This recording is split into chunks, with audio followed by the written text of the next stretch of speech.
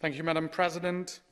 Dear Mr. Fiala, you promised your voters that you will kick out the corrupt, that you will defend the rule of law, and you won against Andrej Babiš. Now you're taking over the presidency of the Council, and I'm sure you know that corruption is not only an issue in the Czech Republic, but in the entire EU. Where Babiš tried to prevent justice, the Polish government is trying to take over the entire justice system.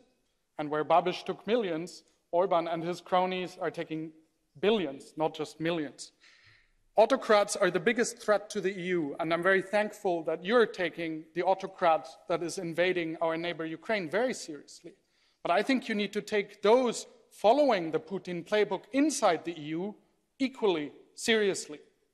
It's up to you to set this on the agenda and to make sure that the attacks on the democracy and rule of law by the Polish, by the Hungarian government play a role in your presidency. And the decision of freezing funds to Hungary will come to the table of your presidency. Make sure that the promise you gave to your voters doesn't stop at the Czech border and that you're delivering on that promise also in your presidency.